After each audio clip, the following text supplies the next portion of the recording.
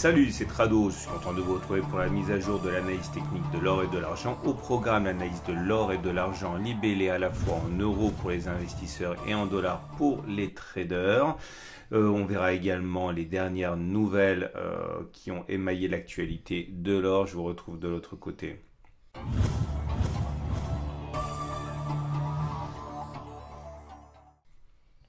Alors au niveau des trois nouvelles que j'ai isolées pour vous, la première vient de la banque City. City qui voit l'or osciller hein, euh, massivement encore en 2020 et ce n'est qu'en 2021 que City voit l'or toucher les 1925 dollars. Et euh, Natixis, la banque française, donc voit également 1950 euh, dollars en 2021. Et pour terminer, le marasme chez les petites euh, boutiques et les artisans spécialisés dans l'or en Inde suite aux répercussions du Covid-19. Voilà le, graphique de l'or libellé en euros pour commencer, donc davantage pour les investisseurs qui ne s'intéressent pas au cours de l'or en dollars. Comme on peut le voir actuellement, une nouvelle tentative a lieu pour casser la résistance mineure des 1587-1596 euros. Une accélération peut effectivement voir le jour en cas de franchissement des 1596. Néanmoins, il faut savoir que Dès que l'on aura franchi cette zone, ce sera pour mieux tomber sur une autre zone de résistance, celle des 1603-1613, donc un double rideau défensif euh, qu'il va falloir euh, passer pour libérer du potentiel. La tendance est toujours haussière au regard du court terme puisqu'on est au-dessus de la moyenne mobile à 20 jours qui monte. Par contre, la tendance de fond donnée par l'orientation de la moyenne mobile à 50 jours est neutre puisque cette moyenne mobile à 50 jours est plate. Ma prochaine zone d'accumulation rationnelle est ici à 1547-1538 euros si on y parvient. On regarde ce qui se passe pour l'or, mais cette fois-ci libellé en dollars. Et là, regardez, c'est magnifique. Hein. Non pas la tendance qui est effectivement euh, haussière depuis, un, depuis plusieurs semaines, puisque nous sommes au-dessus de la moyenne mobile à 50 jours qui monte et au-dessus de la moyenne mobile à 20 jours qui monte, contrairement à l'or libellé en euros. Mais non, regardez, on vient, on est en train de travailler et de franchir la résistance majeure des 1783-1790 dollars c'est un fait très important parce que c'est un bouchon qui saute et une accélération haussière pourrait voir le jour. En tout cas, pour l'instant, euh, nous avons créé un support majeur ici à 1750-1780 et en deuxième rideau défensif les 1727-1748. Je considère qu'un retour sur ces zones pourrait pour moi faire l'objet d'un renfort.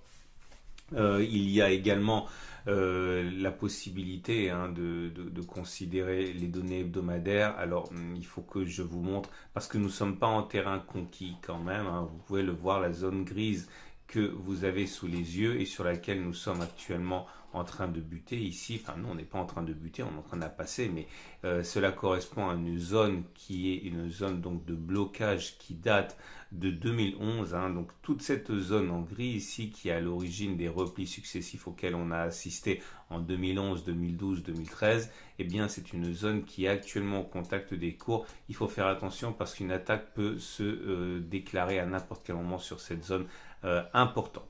On regarde ce qui se passe euh, du côté de mon partenaire aucoffre.com. Et ceux qui s'intéressent à l'or au gramme pour acheter régulièrement des petites quantités lorsque l'on revient sur des zones d'accumulation rationnelle, eh bien, vous pouvez actuellement vous procurer le gramme d'or à 60,87 euros, un gramme qui fait partie d'un lot plus important euh, de pièces Vera Valor. Pour ceux qui maintenant voudraient euh, se laisser tenter par une pièce euh, plus vintage, hein, notamment les Napoléons 20 francs, eh bien, vous pouvez actuellement vous procurer ces Napoléons à 310 euros. Et finalement, pour les budgets les plus conséquents ou ceux qui veulent se rattraper dans leur constitution de stock de métaux précieux, vous pouvez obtenir la Vera Valor une once actuellement au prix de 1700 euros. Du côté de l'argent maintenant libellé en euros, nous sommes toujours en train de tenter de décoller de cette zone de support mineur de 15,3, 16,3 euros.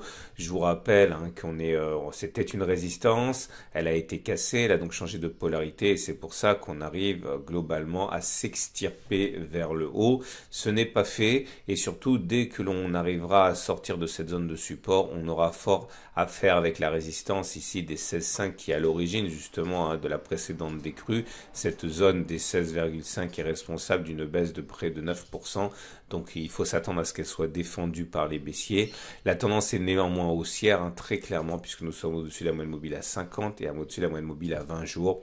On termine avec l'argent libellé en dollars, davantage pour les traders. Donc, et nous sommes déjà là hein, au contact de euh, la résistance mineure des 16, des 18,2 18,4. C'est une zone qui est difficile à passer. Vous le voyez, hein, ça fait quand même trois tentatives qui n'ont pas pour l'instant été couronnées de succès. La tendance est néanmoins haussière, les cours étant au-dessus de la moyenne mobile à 20 jours et au-dessus de la moyenne mobile à 50 jours, toutes les deux ascendantes. On s'attend à d'autres difficultés, c'est la résistance majeure des 18,6-19. Donc pour l'argent, ma zone d'accumulation serait un retour éventuel sur les 16,8-17,1. Pour l'instant, je ne suis pas acheteur au contact d'un obstacle. On regarde euh, ce qui se passe à mon partenaire au coffre.com.